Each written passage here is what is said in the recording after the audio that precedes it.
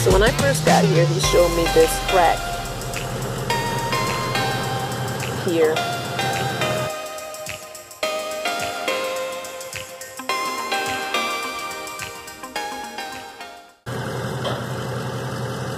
And it did not look this prominent on Thursday when he first showed it to me.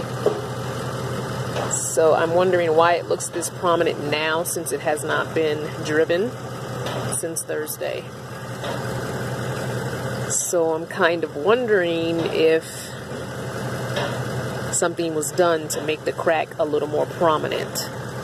Because when he called me to tell me it was ready, he said that, oh, you know, I hope you make it to Arizona because that radiator is going to blow. But the crack was very hard to see at that time when we first brought it in. Now it seems like you can really see it. And I'm just wondering what was done to make it that visible. It was very it was much shorter than that and very very very thin. You could barely see it. So I'm just wondering. Anywho, the engine is slightly warm because he claims he took it for a test drive.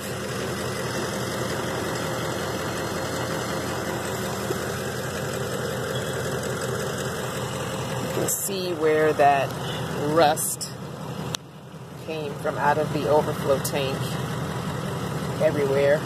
How it exploded when it overflowed from the overflow tank. The rust just spewed everywhere. Even down in there, you can see the rust. Down in there, rust everywhere.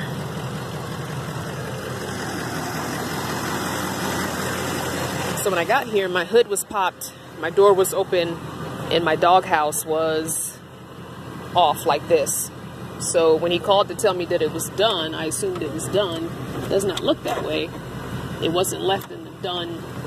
It wasn't left in the done configuration. So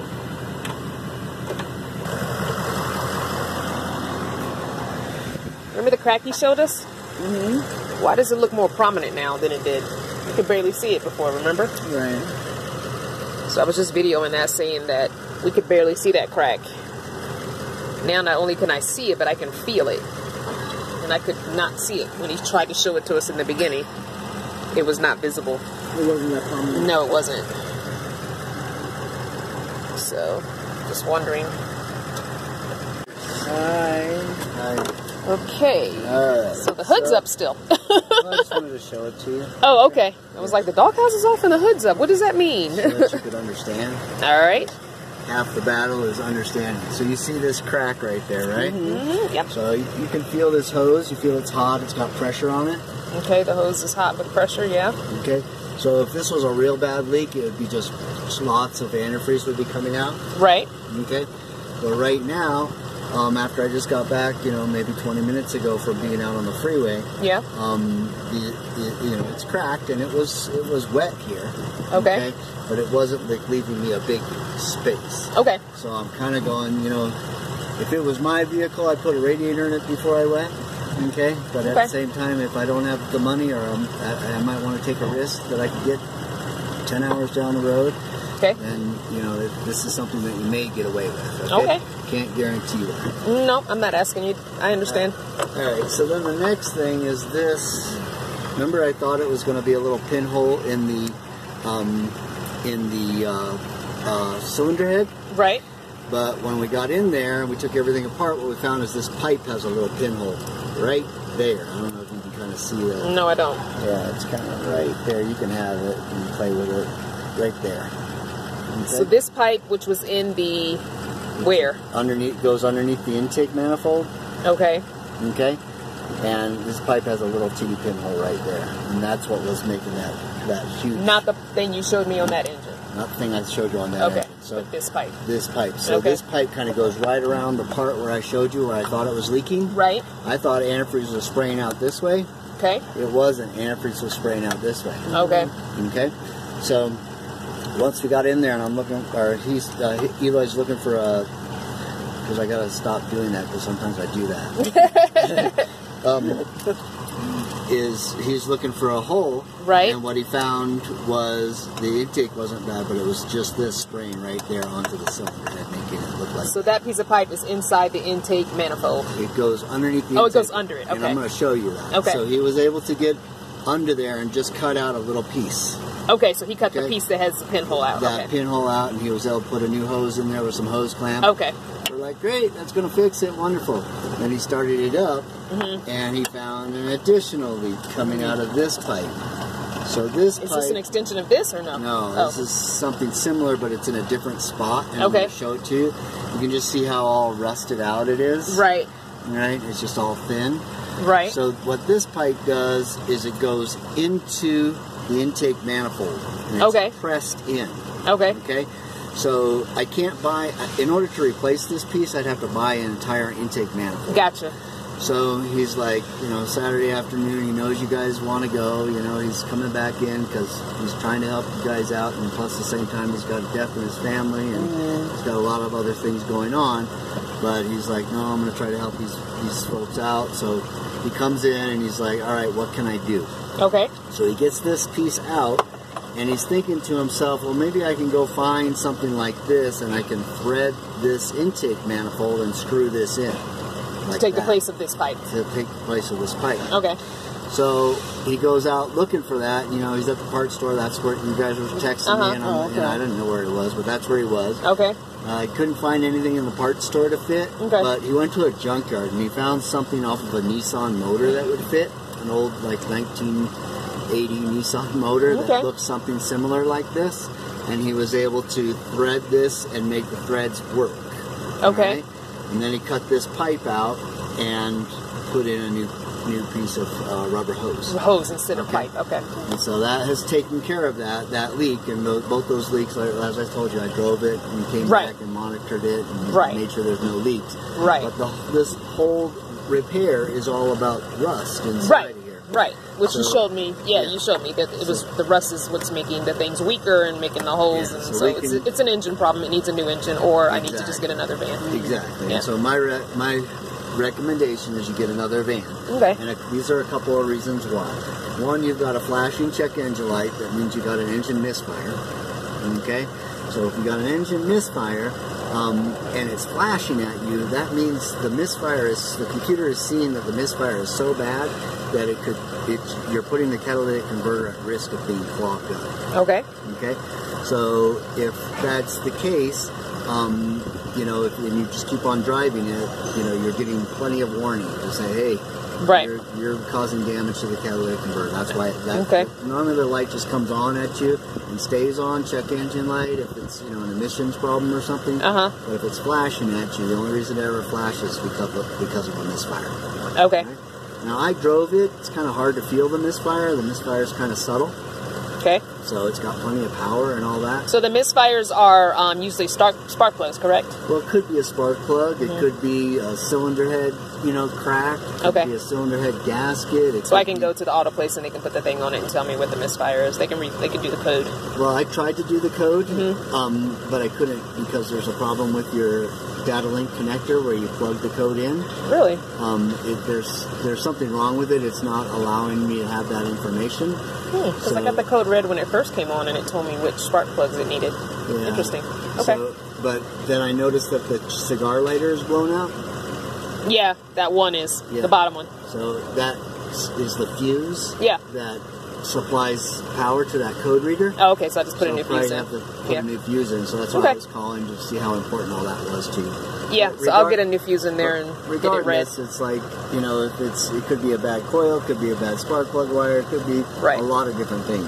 Right. But regardless, if you want to fix it before you leave, then let me know. I can fix it. But if you don't want to fix it before you leave, then you know you're welcome to take a chance.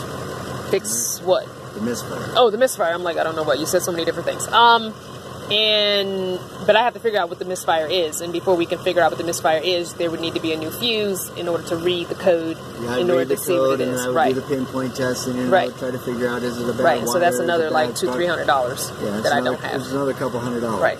So that's so no. that's why I'm going. Yeah. That's the, that's the purpose of this conversation. Yeah. To say, hey, do Yeah. you want me to stop here, or do you want to keep on going? No, uh, I think this is more than I have already. So Mm-hmm. yeah, let's just get me to Arizona because we're, when I'm in Arizona on BLM land, I can just sit. I don't have to drive it. I can get a job. I can save money and decide what I want to do. Uh, I just need to get to Arizona. I'm not going to worry about that. Good.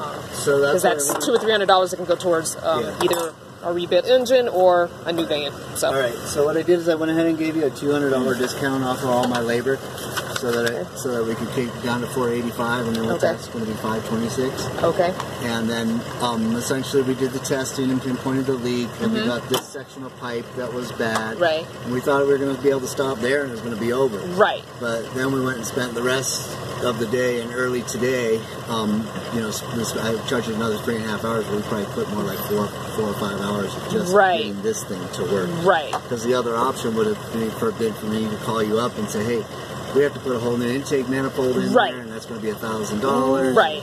And um, so we went the extra mile for you on that. I appreciate that. Thank Okay. you. And then we retested for additional leaks, and uh, the rear intake's now repaired. There continues to be a leak coming out the crack of the radiator, so we know about that. Right, While we road tested the vehicle, so I went ahead and put more stop leak in there, and then retested it to see if this would that would seal this up a little bit. Mm-hmm. It seems to be working for now. okay, And then um, while we have our road testing, noticed the vehicle's running rough, and the check engine light was on. We attempted to pull codes, however, the codes is missing. And the client states she knows about the engine misfire, does not want to diagnose us, diagnose it, and then we gave you a $200 discount as a sign of good faith. And then um, other things that you need to do. Replace the front wheel bearing that's making a loud growling noise when driving. This is a safety issue. In the event the wheel bearing falls apart while driving, the wheel could fall off. All right. okay, So that's not like something to. I mean, we just don't know. You gotta be. Yeah. You gotta be like. You know the noise when I'm talking about, right? Um, I thought it was the rotor. When I when I pulled it off and checked, it looked like it was the It's rotor. the front wheel bearing. Okay. All right. And um, so also the rotors are warped when applying the brakes at highway speeds. They pulsate. Right. Yeah, that I knew already.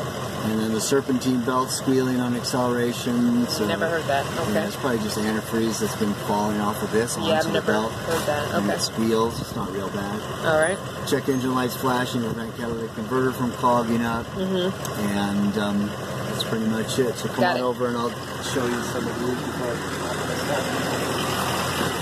Alrighty.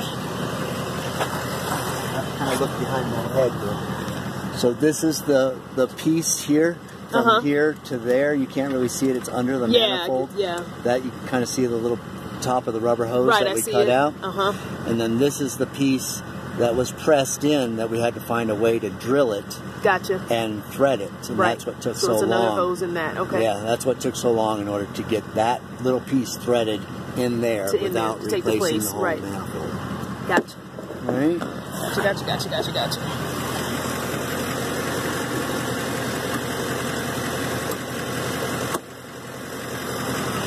All right, and I checked the oil and everything, and um, I'm sure the antifreeze is topped off, and just did the best that I could to Yep. Appreciate it. help you out. all right? Appreciate it. Thank you so much. Okay. All right, let's go get this paid, and I will uh, get everything put back in order. You go ahead and get paid from Joanne. and get- get- All right, she's got a copy of that already. Okay. Come on. Let's go do this. Five hundred dollars change. Yeah, buddy. Be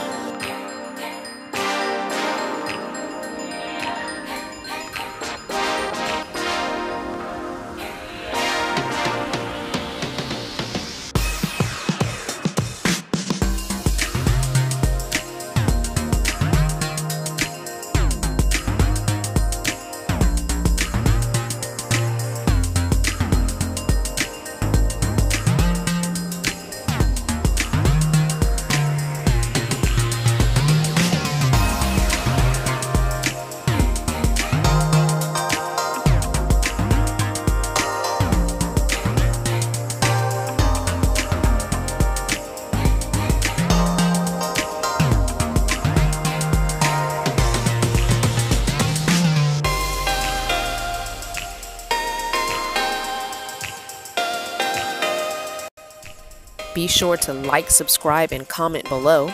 And for more family fun, join us over on patreon.com.